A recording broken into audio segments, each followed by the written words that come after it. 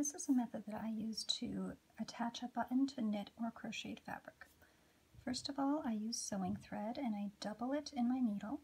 And then a nice way to tie a knot is to bring the thread around in a circle so that it creates an X shape with a needle at the top. And then wrap the thread around two or three times. Hold on to those wraps as you pull the needle through. It Gives you a really nice knot close to the end. And the more wraps you make, the bigger the knot is. We don't need a large knot, but we do need to anchor our thread to our fabric before we stitch the button on.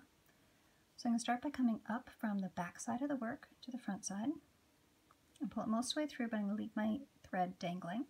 I'm going to stitch down at least a couple strands of yarn away, but I want to make sure it's going to be smaller than my button so it won't show.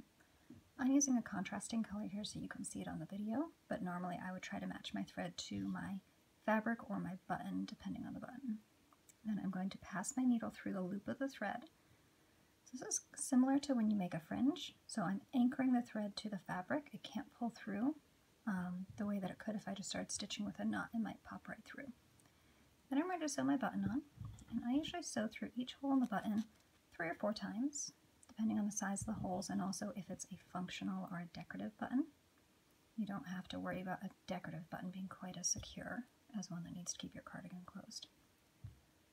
So I sew through each hole a couple of times. Now if you have a very thick knit fabric, if you used a, a thicker yarn, you probably want to create a thread shank on a button with holes like this.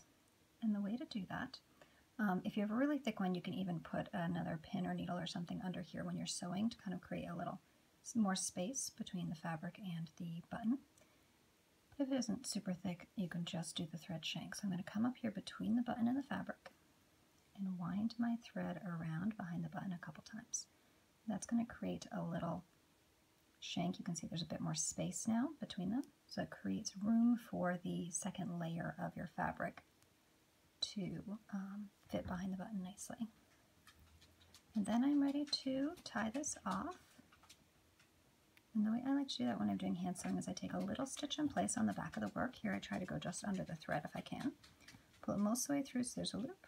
And I go through that loop twice and pull. And it's really nicely attached on the back. And I can cut off the extra thread.